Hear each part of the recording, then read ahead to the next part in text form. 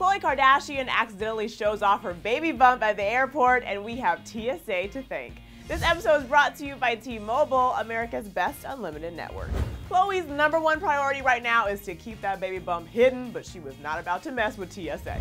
You can run, but you can't hide. Not when the TSA is involved. Khloe Kardashian was photographed by paparazzi arriving at LAX airport wearing an oversized camo jacket covering her stomach, of course. And went through TSA security to head to her gate, she was still in the paparazzi's view. So when the TSA had Koko remove her camo jacket to reveal a black hoodie underneath, her bump was exposed.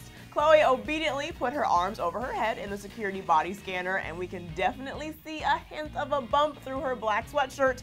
Or is there? We think so, but dang, she's good at hiding it. While we wait for more concrete proof of Khloe's bun in the oven, we'll just sit here and obsess over her relationship with Tristan Thompson.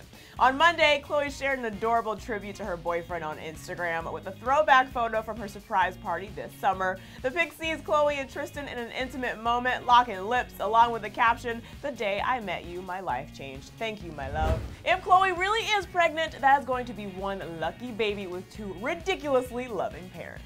Do you guys think that we're any closer to a pregnancy announcement? Is Khloe finally slipping up on hiding her bump? Tell us your gut instinct down in the comment section below. And as always, I'm your host, Drew Dorsey. Thanks for tuning in. Now click here for details on Kylie responding to her makeup brush backlash. This episode is brought to you by T-Mobile. Switch to America's best unlimited network.